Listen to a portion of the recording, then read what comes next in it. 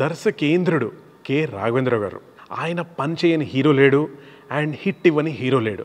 అలాంటి రాఘవేంద్రరావు గారికి తన మొత్తం కెరియర్లో ఒకే ఒక్క సినిమా షూట్ ఫినిష్ అయిపోయి ఆడియో ఫంక్షన్ అయిపోయి మొత్తం రెడీ అయిపోయిన తర్వాత కూడా రిలీజ్ అవ్వకుండా ఆగిపోయింది. ఆ సినిమానే ఇంటింటి అన్నమయ్య. శ్రీరామరాజన్ సినిమా తీసిన సాయిబాబా గారి అబ్బాయి రేవంత్ హీరోగా ఈ సినిమా స్టార్ట్ చేశారు.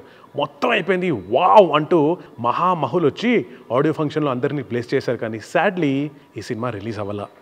అంటే అప్పట్లో పోస్టర్లు అవి కూడా వేశారు కానీ నిజంగా అన్నమయ్య తర్వాత ఇంటింటి అన్నమయ్య అంటూ రాఘవేంద్ర గారు ఏం తీశారా అన్న క్యూరియాసిటీ ఇప్పటికీ మాలో అలా ఉండిపోయింది.